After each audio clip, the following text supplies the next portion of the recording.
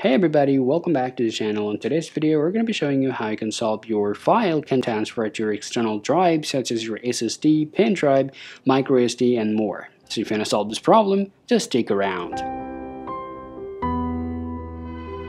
Now, the thing is, when you copy something on your Mac, it works. But when you try to copy something from your external drive to your Mac, it doesn't really work at all. Plus, just because NTFS format where you can't even erase your external drive as well. Well, now before you go ahead and change the format, there's the things you gotta know, okay? Now, once you have changed your format, your file will get lost. Okay, so all you can do is simply can create a folder anywhere else on your Mac, and then you can copy your every single important files to your folder before you change the format.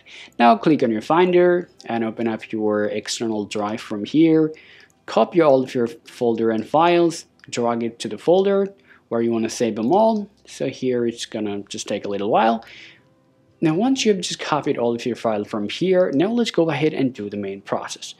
Now go ahead and click on your Spotlight search and type disk utility. Go ahead and open up your disk utility from here and afterward just go ahead and look for your external drive. If you don't get it from here, click on view come down here and click show all devices and then you'll be able to find out your device right here. Click on there and now go ahead and click erase.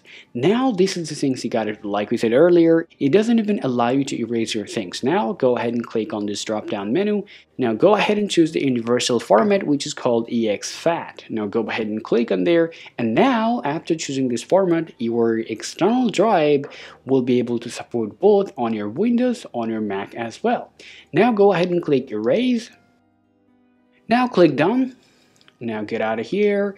Now open up your external drive once again. And now if you try to copy anything from here then it will work perfectly fine. So as you guys can see now it's working completely fine. And I'm transferring the same file that I got out of this external drive and this is how it works. Alright guys, so this is how you can solve your problem and this is how you can change the Windows format and make it work for your Mac and your Windows as well. Hope you find this video useful. If so, drop a like and subscribe to the channel. Thanks for watching and I'll talk to you later.